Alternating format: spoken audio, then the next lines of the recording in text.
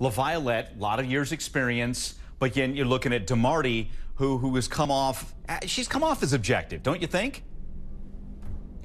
Uh, I do. I think that uh, Alyce's problem uh, is that although she has a lot of experience, as you notice, she doesn't have hardly any experience in a courtroom, number one. And number two, she seemed to approach the case as if she was doing this as a thesis or a seminar. And she was talking in such uh, hypotheticals that um, it didn't apply to a murder case, really, because all this domestic violence is, is one thing. Maybe there was abuse, who knows? But did it make her afraid uh, for her life? And Alyce never got that. She was 100% on the defense side, and that hurt her credibility. Real quick, Jeff. And, uh, Gene De- oh, just a real quick point on that. When you, again, we're at this point in the case, the experts are in front and center.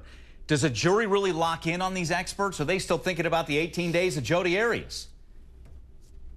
Oh, yeah. I mean, I, I, don't think you can ever get past the fact that the defendant testified for 18 days. Um, when a defendant testifies, almost everything else can go out the window because the jury is taking the measure okay. of the woman in this case. Uh, and I think, by the way, Dr. DeMarte did an excellent job for the state considering her lack of experience. All right, we're back with more.